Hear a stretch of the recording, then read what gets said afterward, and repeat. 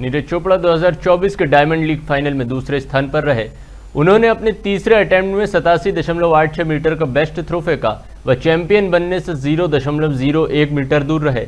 Granada के Anderson Peters ने अपने पहले अटेम्प्ट में सतासी दशमलव आठ सात मीटर का बेस्ट थ्रो फेंक कर पहला स्थान हासिल किया।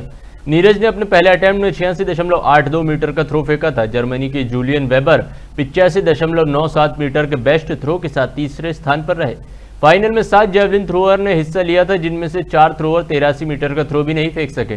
डायमंड लीग फाइनल 13 और 14 सितंबर को बेल्जियम के ब्रुसेल्स स्थित किंग बोर्डाइन स्टेडियम में हुआ। शुक्रवार को भारत के ही Avinash Sable 3000 metre steeplechase event में नौवे स्थान पर रहे।